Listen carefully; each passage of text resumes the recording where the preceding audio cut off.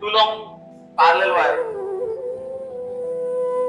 two long parallel wire going into the plane of paper going into a plane of paper it means the direction of the wire ऐसे going into a plane of paper एक पहला wire ऐसा दूसरा wire ऐसा कुछ मतलब should be a direction of wire and this is a position of wire this is called as position of wire तो ऐसे तो वायर है हमारे पास टू लॉन्ग लॉन्ग है पैरेलल है दोनों पैरेलल है going into the plane of paper it's going into the plane of paper so it means that so this is the position of conductor conductor yeah this is the position of wire separated by the distance of r तो उनके बीच में distance है r and carries a current of i current कितना carry कर रहा है i each in the same direction अब करंट का डायरेक्शन भी सेम दिया हुआ है show that the magnitude of magnitude of the magnetic field.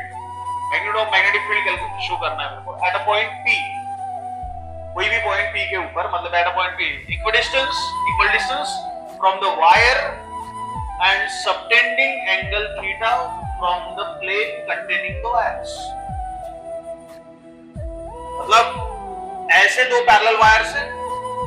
दो पैरेलल वायर का बीच का डिस्टेंस है r, so this is the r is a distance between the two parallel so this is ठीक है? और I से current flowing through the wire तो ये दो वायर्स कुछ ऐसे हैं इनके बीच में डिस्टेंस है r ठीक है? और कोई भी एक पॉइंट भी, और करंट है हमारा I, और हम लोग को कोई भी एक पॉइंट भी कंसीडर कर पॉइंट भी हम लोग ऊपर के डायरेक्शन से भी कंसीडर कर सकते हैं, नीचे। तो मैं अगर कोई भी एक पॉइंट भी कंसीडर कर दूँ, ये दो वायर है तो वो बोला है कि क्या बोला है? So that the magnitude of magnetic field at a point P मतलब कोई भी एक पॉइंट P पे लेकिन वो पॉइंट P कहाँ है? Equidistance this very important that is meaning of equidistance मतलब जो पॉइंट P आप कंसीडर करेंगे वो पॉइंट P दोनों कंडक्टर से, दोनों वायर से सेम डिस्टेंस पे होगा। Equidistance equidistance from the wire and फिर से सबटेंडेड एंगल थीटा मतलब दोनों के बीच में एंगल थीटा होना चाहिए। मतलब वायर 1 से भी और वायर 2 से भी, दोनों वायर से। ठीक है? Subtended angle theta from the plane containing the wires तो मेरे को क्या शो करना है? B is question you naught I divided by pi R sine two theta मतलब मेरे को ये शो करना है। क्या शो करना है? बी इजी इक्वल टू क्या शो करना है यहाँ पे? Mu naught I divided by pi R into sine theta ठीक है? हाँ। What is the direction of the magnetic field फिर से मेरे को डायरेक्शन भी बतानी है मैग्नेटिक फ़ील्ड की। ठीक है? मैग्नीट्यूड तो मेरे को ये शो करना ही है। साथ में क्या बतानी है मेरे को? डायरेक्शन ठीक है? तो जब भी करंट में से कंडक्टर में से करंट फ्लो होगा तो मैग्नेटिक फ़ील्ड बनेगी तो मैग्नेटिक फ़ील्ड का मैग्नीट्यूड आप बायोट सोवर्ट लॉ, या अदरवाइज़ या एम्पियर सर्किट लॉ से मैग्नीट्यूड कैलकुलेट करेंगे डायरेक्शन निकाले जाएँगे उसकी राइट हैंड रूल से। ठीक? चलिए तो देखो अभी आज। अभी हम लोग लेंगे इसका डायग्राम ठीक है? तो डायग्राम समझने, समझना ज़रूरी है। ठीक है? तो देखिए। एक वायर ये हो गया मतलब ये क्रॉस से डिनोट कर दो मतलब दिस इज़ वायर वन ये पहला वायर है। कैसे जा रहा है। ठीक है? क्योंकि two long parallel wire two long parallel wire going into the plane of paper तो ये वायर कुछ ऐसे जा रहा है, दूसरा वायर कुछ मैं इधर ले लूँ। So this is my wire 2 ठीक है? सो ये दो पैरेलल वायर्स हो गए। ये इसको ऐसा रिप्रेजेंट क्रॉस से डिनोट करने का मतलब क्या हुआ कि ये वायर कुछ it is going into the plane of paper this is wire 2 again this is going into the plane of paper this इनके बीच में डिस्टेंस कितना है? R so that means r इनके बीच का distance so this is r is a distance between this two दोनों में करंट i फ्लो हो रहा है। अब करंट i भी वही फ्लो दो शो करना पड़ेगा मेरे को i. And it is same in direction मतलब कंडक्टर का ये है तो करंट भी यही डायरेक्शन कंडक्टर का पोजीशन ये है तो फिर से करंट का भी डायरेक्शन यही so that's why is we are presenting i is a, i is a current flowing through the wire, wire r1 and again i is a current flowing through the wire r wire 2 ठीक अब मैं कोई भी एक point भी consider करूँ यहाँ और वो पॉइंट क्या होना चाहिए? इक्वल डिस्टेंस से होना चाहिए वायर 1 और वायर 2 से। सो वायर 1 और वायर 2 से इक्वल डिस्टेंस पॉइंट p मैंने ये कंसीडर कर लिया। So this is your point p ठीक है? इक्वल डिस्टेंस में वायर 1 और वायर 2 से तो इसलिए मैं दोनों को ज्वाइन कर दूँ ऐसे। सो so, दोनों को ज्वाइन कर दिया मैंने ऐसे। और दोनों को ज्वाइन करने के बाद में दोनों के बीच का डिस्टेंस सेम रहना चाहिए। दिस ठीक है? तो मान के चलिए कि मैंने डिस्टेंस को ए मान लिया। This is also A because it has the same distance ठीक है? मेरे को ये पॉइंट पी पे मैग्नेटिक फ़ील्ड कैलकुलेट करनी ठीक है? अब मैग्नेटिक फ़ील्ड दो वायर की वजह से बनेगी। तो magnetic field produce at the point P due to wire one and again magnetic field P, magnetic field is produced at the point P due to wire 2 तो दोनों के, दोनों वायर की वजह से मैग्नेटिक फ़ील्ड यहाँ बनेगी। अब दोनों की वजह से मैग्नेटिक फ़ील्ड बनेगी तो मैग्नेटिक फ़ील्ड का फिर से डायरेक्शन अगर इससे अगर मैं ले रहा हूँ तो एक परपेंडिकुलर मेरे को इधर निकालनी पड़ेगी। This is your magnetic field due to wire 2 तो ये P2 हो जाएगा। This is second wire so that's why this is P2 clear अब ये मैग्नेटिक फ़ील्ड ये ड्यू टू वायर वन तो अगेन यहाँ से ये आपकी डायरेक्शन है, ये डायरेक्शन से एक परपेंडिकुलर इधर लगा दो। दैट मींस ये आपकी P1 बन जाएगी और यहाँ एंगल कितना है तेरा 90 यहाँ एंगल कितना है 90 क्लियर अब देख और देख सामने क्या बोल रहा है फिर से carries the current I each in the same direction so that the magnitude of magnetic field at the point P equidistance from the wire and subtending angle theta from the plane containing the wire again angle is subtended है angle कौन सा subtended है that means this is your angle subtended theta this is also your theta geometry लगा तो theta theta देख कैसे होगा। ठीक है? सबसे पहले तो ये समझ लो कि ये this B and this B two this magnetic field and this magnetic field is a vector quantity and this are inclined plane so that's why this two magnetic field is resolve into components दोनों magnetic field resolve होगी दोनों components में, ठीक है? तो magnetic field resolve करेंगे तुम लोग। तो मैग्नेटिक फ़ील्ड रिजॉल्व करने के बाद में क्या होगा? अगर मैं बी टू को रिजॉल्व करूँ तो बी टू का एक कंपोनेंट इधर और एक कंपोनेंट ऊपर जाएगा। ठीक अगेन B1 का कंपोनेंट एक इधर, फिर से वही सेम डायरेक्शन से, और एक B1 का कंपोनेंट नीचे आएगा बिकॉज़ ये नीचे जा रहा है। क्लियर अब देख ज्योमेट्री लगा यहाँ से। So this is angle your theta तो यहाँ से ये ये एंगल थीटा बन जाएगा फिर से तेरा। एंड ये एक एंगल बन जाएगा तेरा। ये एक एंगल तेरा फिर से बनेगा। And this also angle your theta geometry लगा। अब ये जो दो एंगल्स बने हुए हैं ये दो एंगल्स को मैं फाइव से डिनोट कर लेता हूँ। So this is my angle phi this is also my angle phi clear अब जो रिजॉल्विंग कंपोनेंट है तो रिजॉल्विंग कंपोनेंट हम लोग ले लें। अब फाइव के साथ में कंपोनेंट ले लूँ तो ये मेरा कंपोनेंट हो जाएगा। एक क्या होगा P2 का रिजोल्यूशन एक इधर आ रहा है फाई के साथ में connect so this is P2 cos phi. Clear again B1 का एंगल के साथ में फाइव कनेक्ट है। So this is B1 cos phi और ये B1 का सेकंड कंपोनेंट तो ये बन गया तेरा B1 sin phi. क्लियर और फिर से ये कंपोनेंट तेरा बन जाएगा अगेन B2 का रिजोल्यूशन है so this is B2 sin phi. ये. अभी तक इक्वेशन स्टार्ट नहीं किया हम लोग ने, सिर्फ़ डायग्राम बना रहे रिजोल्यूशन डायग्राम ठीक है? अब हम लोग बनाएँगे इसकी एफबीडी ठीक है? एफबीडी बनाने से पहले जो पॉइंट पी है पॉइंट पी से वायर वन और वायर टू का एक बाइसेक्टर निकाल लेता हूँ, क्योंकि सामने काम में आएगा। So this is your bisector and we are considering this another point तो ये ये वायर वन और वायर टू को मैं फिर से पॉइंट से रिप्रेजेंट कर दूँ। सो so, ये मान लो ये ए पॉइंट है दिस इज़ बी पॉइंट तो इसमें बीच में ले लेता हूँ सी डिस्टेंस लेने के लिए अच्छा हो जाएगा। ठीक है? तो ए सी और सी बी दोनों सेम हो जाएगा।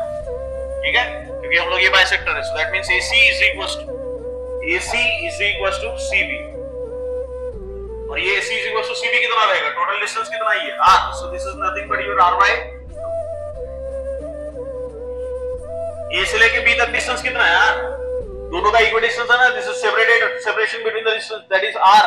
तो ये r है तो ये AC कितना हो गया? This is r divided by 2 and again, this is your r divided by 2 this. ठीक है? अब AC is equals to CB is equals to r divided by 2 and this is your theta. ठीक है? अगर मैं यहाँ से ये कोई भी एक राइट एंगल ट्रायंगल ले लूँ यहाँ से। ये एक राइट एंगल ट्रायंगल मेरे को मिल रहा है, ये एक राइट एंगल ट्रायंगल मेरे को मिल रहा है। ठीक है? तो यहाँ से अगर मैं cos थीटा बना दूँ तो cos थीटा क्या हो जाएगा मेरा? Cos theta is equals to cos theta is equals to क्या होगा? Adjacent side upon hypotenuse तो r r by 2 divided by a. But a पता नहीं है इक्वल डिस्टेंस में बस इतना पता है। सो यहाँ से अगर a बना दूँ तो a is equals to हो जाएगा तेरा r divided by 2 divided by cos theta. ठीक है? अब a इसलिए लिया है क्योंकि मैग्नेटिक फ़ील्ड मेरे को दोनों वायर से लेनी है। Due to wire 1 and due to wire 2 तो ड्यू टू वायर वन और ड्यू टू वायर टू के लिए हमारा formula mu naught I divided by 2 pi R होता। है और आर वही डिस्टेंस होता है जहाँ से मैग्नेट जहाँ से कंडक्टर है और जहाँ पे मैग्नेटिक फ़ील्ड कैलकुलेट करनी है। वो जो आर होता है, वो आर क्या होता है?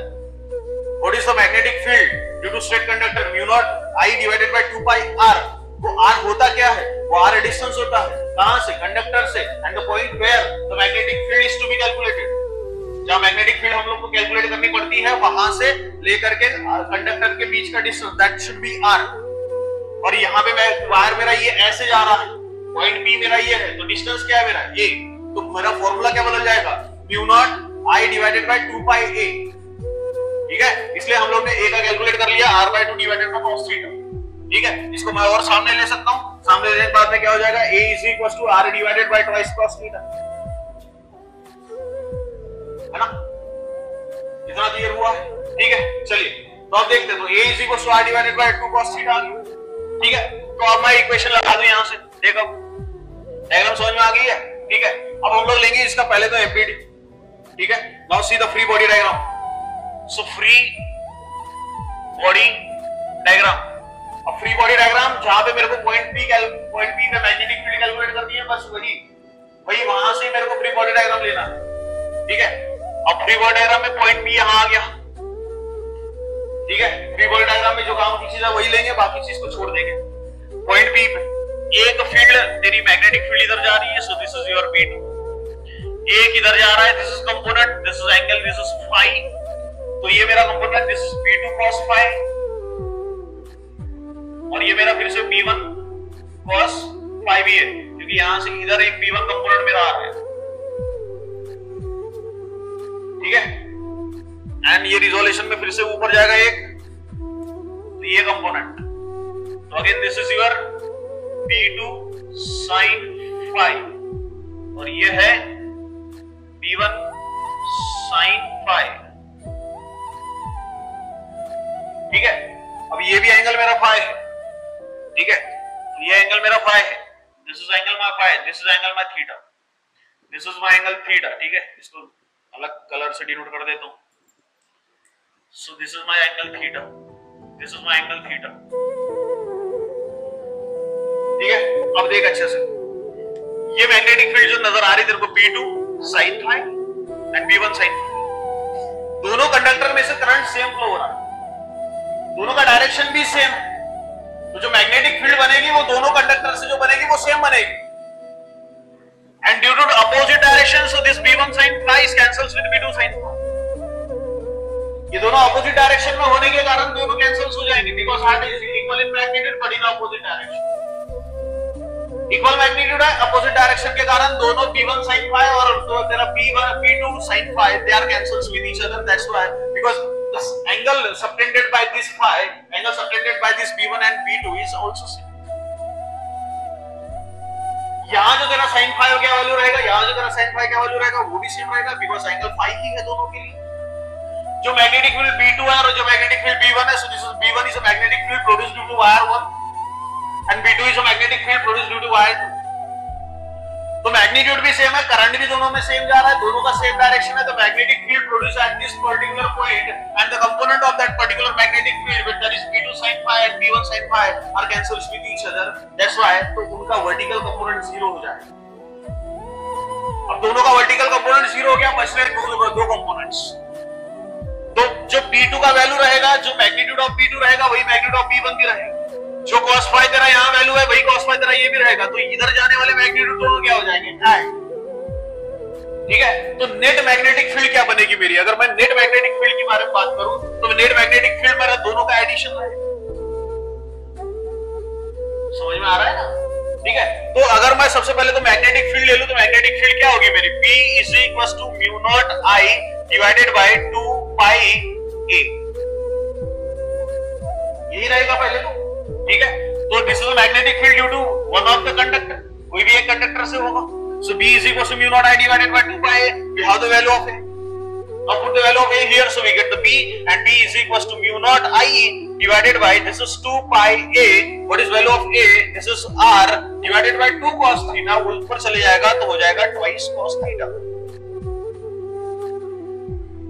समझा? Now this 2 and this 2 get cancelled. So what remains? So there is b is equals to 2 2 cancel हुआ mu naught i cos theta divided by pi r. This is your equation.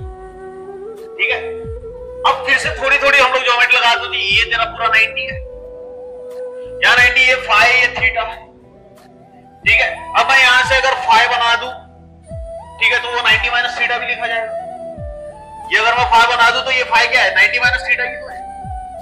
अरे, है ना ऐसे ही? ठीक है।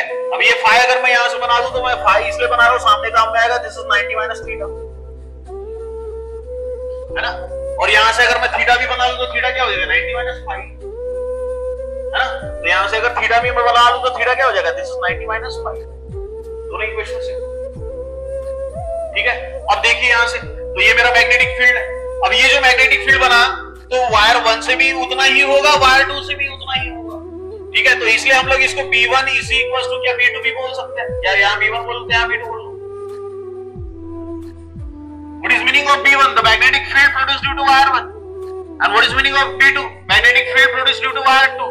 अब दोनों का डायरेक्शन सेम है करंट का डायरेक्शन सेम है दोनों पैरेलल है, दोनों के बीच का डिस्टेंस भी सेम है तो मैग्नेटिक फ़ील्ड जो बनेगी दोनों की वजह से, दोनों सेम बनेगी that's why this is b1 is equals to b2 is equals to mu naught i divided by 2 pi तो ये जो तेरी मैग्नेटिक फ़ील्ड बनी तो ये मैग्नेटिक फ़ील्ड क्या लिखेंगे हम लोग? This is b1 again is equals to b2 clear तो यहाँ पर भी हम लोग वैसे लिखेंगे b1 is equals to what b2 ठीक? अब देखते सामने। सामने चलते हैं। अब ध्यान दो इधर। कौन से कंपोनेंट ज़ीरो हो? गए ये b1 sin phi and this is b2 sin तो बचे कौन से कंपोनेंट्स है? ये। अब ये दोनों क्या है? दोनों का मैग्नीट्यूड फिर से सेम रहेगा। B1 is equals to b2 again the value phi angle between this two again same ठीक है? तो अगेन तो अगर मैं यहाँ से बी नेट बना लूँ तो बी नेट क्या होगा? What is my B net B net is equals to that is दोनों का है। क्लियर दोनों दोनों मैग्नेटिक फ़ील्ड यहाँ बन रही है तो दैट्स व्हाई दोनों की वजह से यहाँ 2 आ जाएगा। और यहाँ b और cos phi ले लो। टू इसलिए आया क्योंकि दोनों का सेम ही रहा मैग्नेटिक फ़ील्ड दोनों ऐड हो जाएँगे। मैग्नेटिक फ़ील्ड सेम है तो B ले लिया। It means that we can write here B is equals to B1 is equals to B2 we can write here है ना? क्योंकि मैग्नेटिक फ़ील्ड जितनी B1 से बन रही है, उतनी मैग्नेटिक फ़ील्ड B2 से भी बन रही है। तो इसलिए B is equals to B1 is equals to B2 तो that's why we can write here B only. या otherwise we can write B1 और B1 भी लिख सकते हैं B2 भी लिख सकते हैं। बट वही तो वैल्यू तो वही रहेगी। ठीक है? So B net the meaning of B net, दोनों वायर्स की वजह से और दोनों वायर्स की वजह से यहाँ ये कंपोनेंट्स बच रहे हैं। एक B2 से मतलब सेकंड वायर से, एक फ़र्स्ट वायर से। दोनों का एडिशन हो जाए। इज़ B ट्वाइस B से cos phi ये ट्वाइस क्यों आया क्योंकि दोनों का है। Now this is again your B net. So B net is equal to 2 जैसे के वैसे रखें ठीक है? B is equals to B1 is equals to B2 and this is B1 is equals to B2 ठीक है? सो so what is the B1 is equals to B2 mu naught I cos theta divided by pi r and this is this is the total value of b and this is again cos phi clear समझ में आ रहा है अब देख phi phi मैंने लिया 90 minus theta phi क्या है 90 माइनस थीटा सो मेरे को जो शो करना है बस उसकी सो so, ये म्यू नॉट आई टू पहले लगा देता हूँ ठीक है? मतलब यहाँ लगा दिया, cos थीटा के साथ में टू को लगा दिया और ये cos को कर दिया फाइव की जगह 90 minus theta and cos 90 minus theta is sin theta ठीक है? तो यहाँ आ गया तेरा b net so again your divided by क्या बच गया यहाँ? R. है ना? सो योर b net becomes b net is equal to mu naught i twice cos theta. And this is replacement sin theta. Cos 90 minus theta is a sin theta and divided by this is what pi r 2 sin theta into cos theta sin 2 theta clear so your b net becomes so what is value of b net so b net is equals to mu naught i divided by pi r और यहाँ आ गया तेरा sin 2 theta और उम्मीद करता हूँ यही शो करना था हम लोग को शायद so this is mu naught I divided by pi R sin 2 theta समझ में आ रहा है? So this is all together the expression for what जो हम लोग ने यहाँ पूछा गया। समझ में आया? ठीक है? हुए सूरज की फ़ोटो लगाने से और दौड़ते हुए घोड़ों की फ़ोटो लगाने से सफलता नहीं मिलती अगर ज़िंदगी में सफल होना है तो सूरज के पहले जागना पड़ेगा और घोड़ों से तेज भागना पड़ेगा। तब जाके ज़िंदगी में सफलता मिलती है। चलिए लिखिए